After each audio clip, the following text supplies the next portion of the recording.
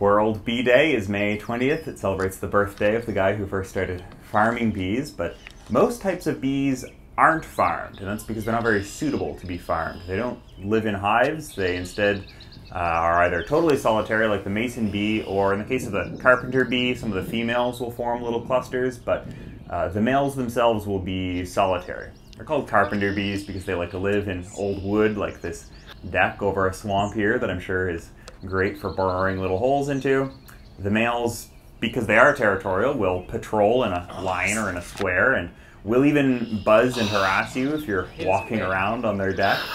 But they can't sting you. That's because, like all bees, the stinger is actually the ovipositor, the egg laying bits, and males can't lay eggs, which means they also can't sting you. So if you're really quick and you can catch one, you are completely safe to check out, I don't know, the little white or yellowish square or shield thing on their face that distinguishes the males from the females in this sort of semi-social V.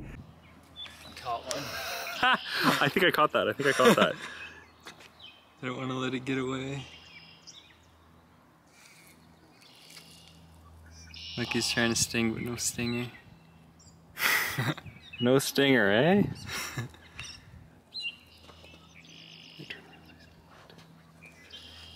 What a...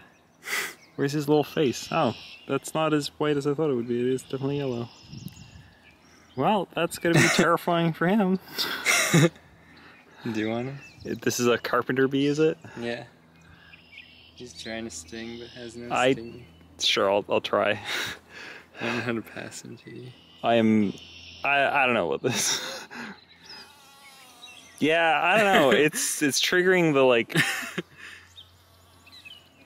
Ah, my monkey brain does not allow me to. Yeah, he's vibrating so oh, much. Oh, yeah. uh, oh, I hate it even more. he's in my hand. Oh. Oh, goodness. Here, take him back, take him back.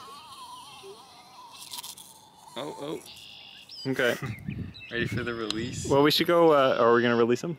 Yeah, there's no kids around. Okay, sure. We can't share him with a kid. Release. Well, that was anticlimactic.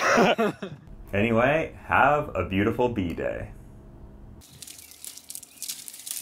I've never seen somebody go to this much effort to get stung.